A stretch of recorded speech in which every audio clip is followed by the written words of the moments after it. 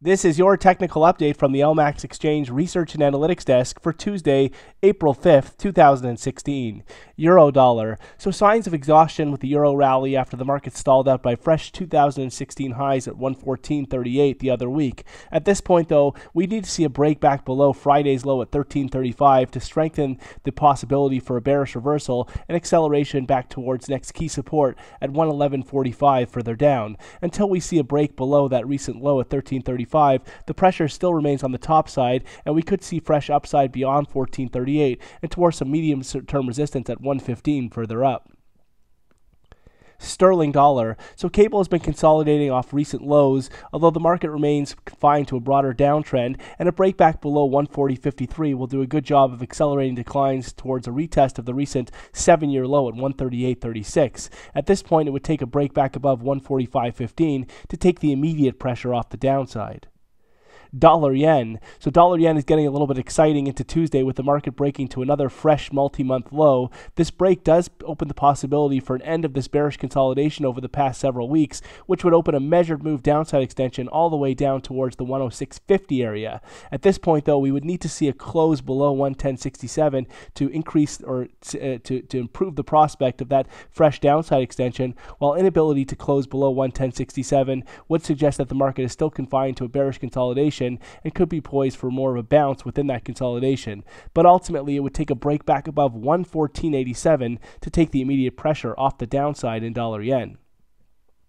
Euro Swiss. So Euro Swiss has been confined to consolidation in recent trade, though the market retains a broader recovery outlook and is favored to break to the upside over the coming days and weeks. At this point, a break back above 110.24 would strengthen this outlook and accelerate declines back towards the recent multi-month high at 112 further up. Setback should be very well supported down towards the 108 area, with only a break and close below 108 to compromise this outlook. Aussie dollar. So signs of a reversal in Aussie after breaking to a fresh 2016 high in the previous week at 77.23, though the market would need to take out 74.77 to confirm and strengthen this bearish outlook and accelerate declines. Back above 77.23 would open the door for fresh upside towards next key resistance at 78.50 dollar CAD. So dollar CAD is finally showing signs of basing out, and the market could be putting in some form of a double bottom with a break back above the neckline at 132.96 to confirm and expose fresh upside into the 137s. At this point, though, while we hold below 132.96, the price pre- pressure remains on the downside, and we could see a fresh break down below the recent lows at 128.58. Kiwi dollar. So Kiwi has come under some intense pressure after breaking to a fresh 2016 high at 69.67 the other week, though the market does have some strong medium term resistance up towards 70, and it isn't that surprising to see the longer term downtrend remain intact, with the market being capped up towards and above 69.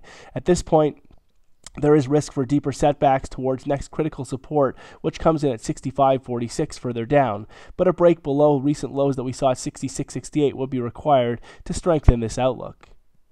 SPX 500. So the S&P 500 is finally stalling out after posting a fresh 2016 high at 2080, but it will take a break back below 2021 to strengthen the outlook for and the prospect for a fresh medium-term lower top and acceleration to the downside back towards the February low at 1808 further down. At this point, only a close back above 2100 would compromise the prospect for a medium-term lower top below that record low in 2015 and put the pressure back on the top side gold. So gold continues to be very well supported on dips down towards 1200, with previous resistance now turned support in the 1190 area, expected to, to prop any additional declines. At this point, look for this consolidation to eventually lead to a break to the top side and for a retest of the 2015 high at 1307 further up. Only back below 1191 on a close basis would compromise the constructive outlook for gold.